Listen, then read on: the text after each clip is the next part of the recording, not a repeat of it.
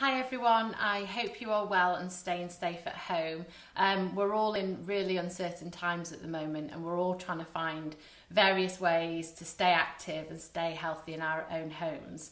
Um, I've been a Vitality Health Ambassador for over six years now um, and during that time I've tried to inspire as many people across the country to be active and to be healthy in their day-to-day -day life and I feel that now more than ever um, it's so so important that's why I'm really excited to be part of Vitality's new Vitality at Home series, whereby every day at 4 pm, Vitality ambassadors like Jonny Wilkinson, Tracey Neville, and various other experts will be bringing workouts um, and stretch workouts to you in your own home.